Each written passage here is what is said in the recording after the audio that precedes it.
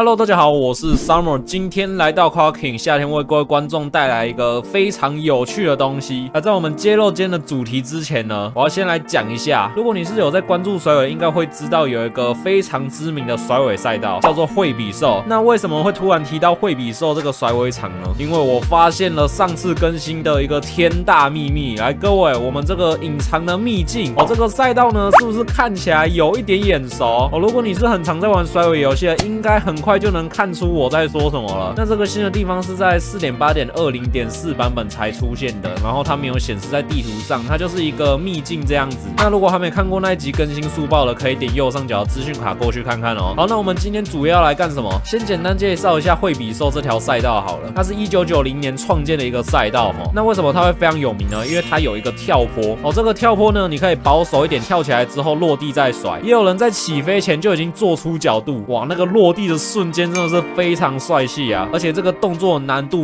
非常之高，这边也出现过非常多经典的画面。但是比较可惜的呢，在 Quaking 里面，它只有做出一个平面道路的样子，它没有还原出那个跳坡，这是我觉得比较可惜的地方。其实惠比寿呢，在很多甩尾游戏都有出现过，比如说 FR Legend、Car X 哦，AC 夏天也很爱玩这一张，因为它真的是太经典了那个跳坡。对各位观众看到这边的拖车没？哎，应该知道我要干什么了，拿这个拖车呢来代替。跳坡究竟能不能成功呢？我们等一下就来看看这个拖车跳坡的效果如何。好，那在我们正式开始之前，希望还没订阅的观众朋友们帮我按个订阅，打开小铃铛，才不会错过有趣的新影片。好，那我驾驶的是这个川田真人的 GR Supra，哦，非常符合这个 D1 GP 在惠比寿举办的情景。那我们现在就来单走一下，来去这个经典的起跑点哦。哎，有些起跑点会在这个地方，然后有些是在下面，就是直接加速的路段。那我们节省时间了，直接从加速的路段开始好了。然后这台车的设定呢是后驱甩尾，OK，那我们就开跑了。哎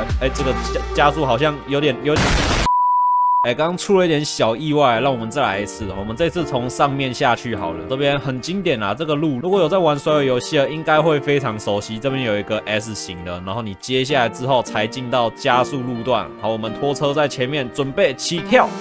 喂，病鬼啊！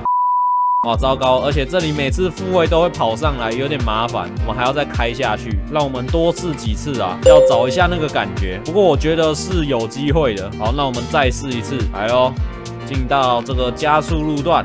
好，三档，嘿，起跳。我我方向好像错了，方向好像错了，不对不对不对。要抓那个起跳的角度，好像真的不容易啊！不然我再熟悉个几次好。哎，等一下，还是我先把拖车移到中间一点。我觉得是拖车太边了。好，等我一下，移个拖车，因为它太边边了，可能会没办法抓。而且我觉得应该要在前面一点。好，差不多停这里。OK，我们再回来去挑战一次。来，准备出来，到这个可以加速的路段，而这次比较直了，起跳。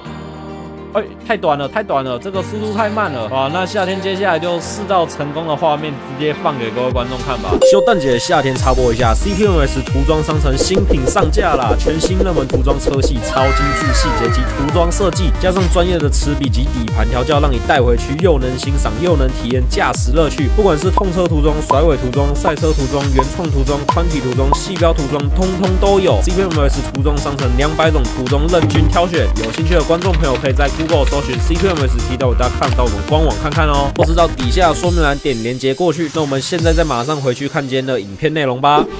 哦哟，这次飞起来了，哇，终于成功一次了，但是我觉得还不够满意，让我们再去飞一次。